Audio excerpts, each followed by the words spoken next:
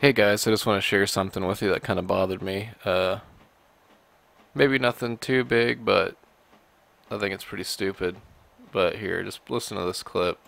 I was just talking to Wayne tonight on the way to church. Uh, Looking forward to having another baptism uh, in the, in the future. And, uh, We'll praying about that, getting that arranged, because that is the very first step of obedience, and we just kind of go from there. And I know that uh, Brother Wayne would like to get that kind of done and uh, taken yes, care of. So that, that'll be a, a very exciting day uh, for him and uh, possibly for Ashley as well. And so we'll just we'll see how that goes.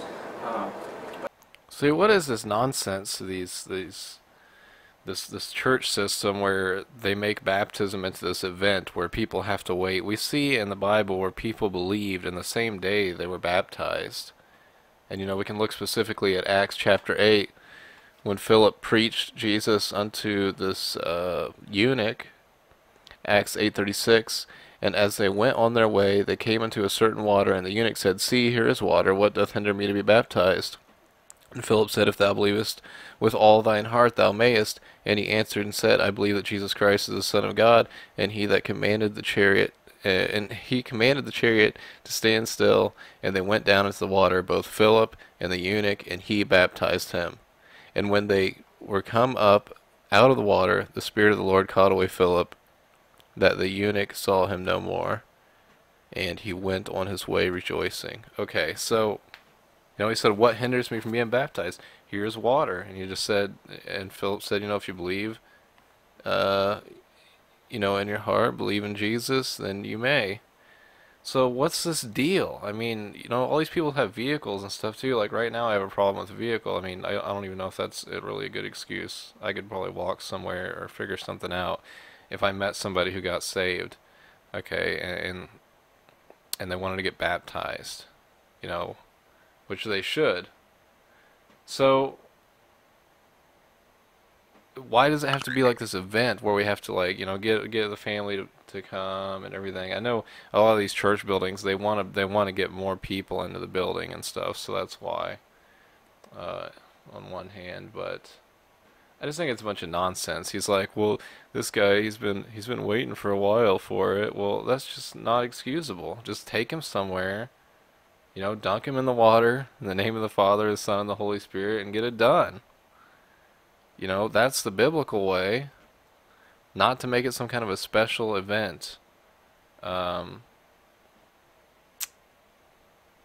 you know, that's planned out and invite all these people and all this stuff. You know, that's where people are like so blinded by tradition that, you know, they can't uh, see in the Bible it was the same day. If somebody wants to get baptized, which we should tell people, you know, you should get baptized and then we should baptize them, I guess.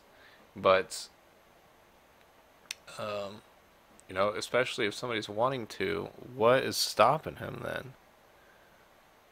So, I don't know. That just kind of gets on my nerves. So, I don't know. Share your ideas about it. What do you think? Do you think that, you know, uh, I mean, if I if if I take somebody to get baptized, it's just me and the other person. We go out in the middle of nowhere. We don't record it or anything like that. I mean, I'm not against recording it or anything. I'm just saying if it's just me and another person, just like in the Bible, just like Philip and the eunuch, uh,